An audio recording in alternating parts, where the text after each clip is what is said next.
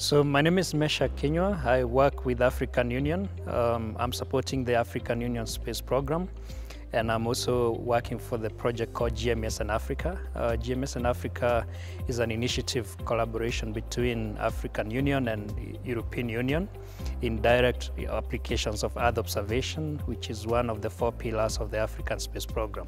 The African Space Program, as you know, is in the embryonic stage right now and, and we are working uh, directly to ensure that the member states have the capacity and also to uh, work coherently in terms of infrastructure, in terms of the human capital development. And I think youth involvement will be in three axes, uh, in my view.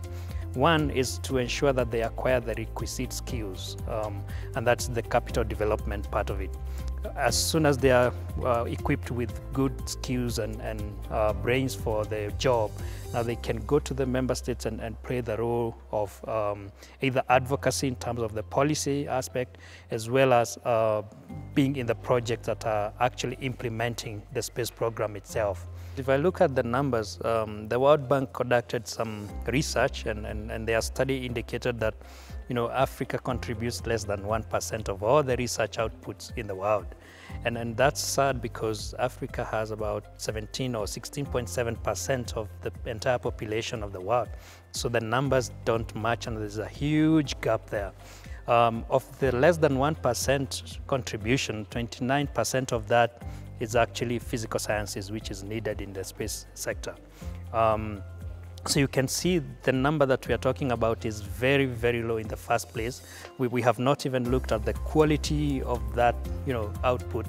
Um, so to tell you that there is a huge gap and we need to match you know to close that gap of skills uh, because in order for you to have a very uh, versatile uh, space economy you must have critical mass of, of scientists and, and, you know experts that are required in this domain.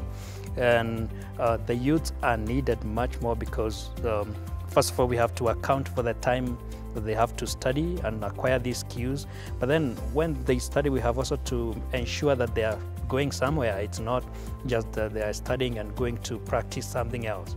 And I give you an example of someone like myself. I studied with people in the courses, in the space course, but they didn't find a job in the market, so they had to go to banks. Some of them have to go to other institutions that are not really related to space. And, and, and I can tell you that this is happening not only in, in my case, but in many other cases uh, across the continent.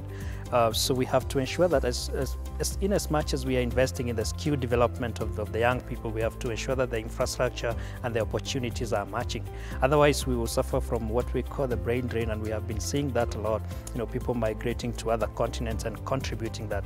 You know, as a matter of fact, the, the current evolution that we are seeing over the um, in, in the nations, especially in the U.S., Europe, and everywhere on, on space, is actually by Africans that have migrated so we have to, we are losing in terms of dividends in this sector and we have to do something for, for our young people.